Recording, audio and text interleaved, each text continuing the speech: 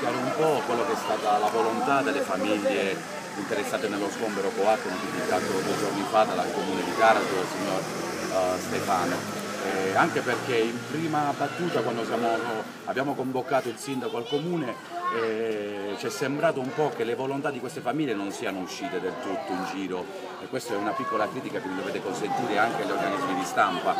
Qui non abbiamo una trattativa in corso, qui abbiamo espresso semplicemente delle volontà, queste volontà sono state spiegate precedentemente appunto dalle persone interessate. E per quanto riguarda la risposta del Comune ci è arrivata solamente la carta che notifica questa esecuzione di sgombero coatto. Non sappiamo attualmente uh, se sono state assegnate delle case, non sappiamo come si sta muovendo il, uh, il Comune in questione, però la cosa sì che vorremmo ribadire è questa, innanzitutto che eh, le case devono essere assegnate di forma definitiva perché queste persone eh, erano assegnatari del, degli spazi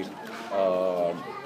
diciamo sotto, sotto, sotto, sequestro. Per cui eh, queste sono una delle volontà più importanti che si dovrebbero rispettare. Innanzitutto oh, si richiede ulteriormente la possibilità di avere un'abitazione un sostitutiva eh, di forma definitiva, cioè che non siano hotel, bed and breakfast, eh, affitti di un anno, due anni. Eh, la cosa più importante è che giustamente dopo i precedenti, visto che qui non sappiamo se questa città è completamente pericolante, visto che i signori tecnici si divertono a fare queste cose insieme alle, alle ditte appaltatrici, eh, le famiglie qui vorrebbero addirittura visionarle prima queste case e ricevere anche un documento che possa certificare in qualche maniera l'agibilità delle stessi stabili per evitare di ritornare a fare queste situazioni. No? Eh, è importante anche rispettare la volontà di chi vorrebbe rimanere in città vecchia